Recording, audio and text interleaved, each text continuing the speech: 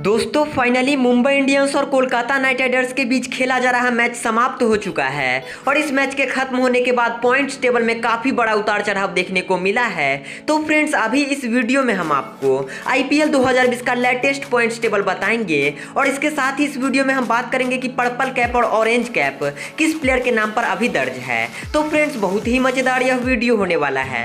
आपसे रिक्वेस्ट करूँगा कि वीडियो को पूरा अंत तक ज़रूर देखें और डेली पॉइंट्स टेबल के अपडेट जानने के लिए चैनल को सब्सक्राइब करके नोटिफिकेशन बिल को प्रेस कर लें। तो चलिए दोस्तों, शुरू करते हैं। तो फ्रेंड्स, वीडियो में आगे बढ़े, उससे पहले मैं आप लोगों को फैनफाइट एप्लीकेशन के बारे में बताना चाहूँगा, क्योंकि यह ऐप काफ़ी बेहतरीन एंगेजमेंट प्रोवाइड करता है और यह ऐप कैशबैक के मामले में काफ़ी बेहतरीन है।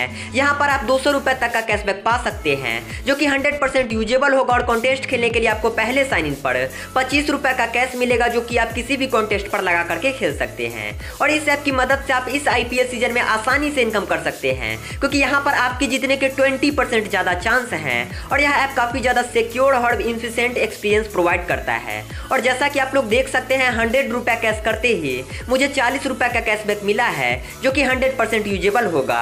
तो फ्रेंड्स देरी किस बात की? वीडियो के डिस्क्रिप्शन बॉक्स से फ़ैन फाइट एप्लीकेशन को डाउनलोड करें और आईपीएल सीज़न का मज़ा तो चलिए फ्रेंड्स अब हम वीडियो में आगे बढ़ते हैं और बात कर लेते हैं आईपीएल 2020 के लेटेस्ट पॉइंट्स टेबल के बारे में। तो फ्रेंड्स सबसे पहले हम आपको बता दें कि आज के मैच में मुंबई इंडियंस की टीम ने कोलकाता नाइट राइडर्स को हरा दिया, जिसके बाद पॉइंट्स टेबल में काफ़ी बड़ा उतार चढ़ाव देखने को मिला है। और अब बात कर लेते हैं आठवें नंबर की टीम के बारे में। तो यहाँ पर है सनराइजर हैदराबाद की टीम, जहाँ पर हैदराबाद की टीम एक मैच खेली और वह मैच वो हार चुकी है।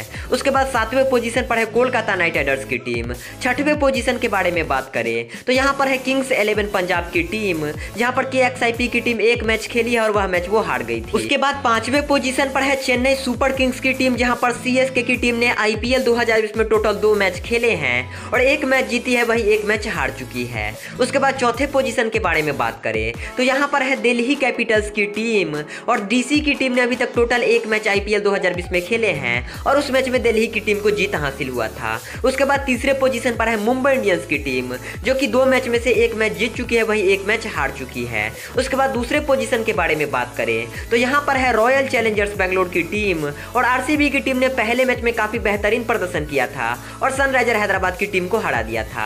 उसके बाद पहले पोजीशन पर है राजस्थान रॉयल्स की टीम, जिसने कि कल चेन्नई सुपर किंग्स को हराया था और आरआर की टीम काफ़ी बेहतरीन पोजीशन पर रैंक कर रही है। तो फ्रेंड्स, ये था आईपीएल 2020 का लेटेस्ट पॉइंट्स टेबल। अब बात कर लेते हैं पर्पल कैप और ऑरेंज कैप के बारे में। तो पर्पल कैप और ऑरेंज कैप का पूरा लिस्ट आपको हमारे वीडियो के डिस्क्रिप्शन बॉक्स में मिल जाएगा। तो वहाँ पर से आप पर्पल कैप और ऑरेंज कैप का पूरा सीन देख सकते हैं। तो फ्रेंड्स, उम्मीद करते हैं वीडियो पसंद आई होगी। वीडियो पसंद आई है तो लाइक करें और चैनल को सब्सक्राइब करके नोटिफिकेशन बेल को प्रेस कर ले। तो फ्रेंड्स मिलते हैं नेक्स्ट वीडियो में।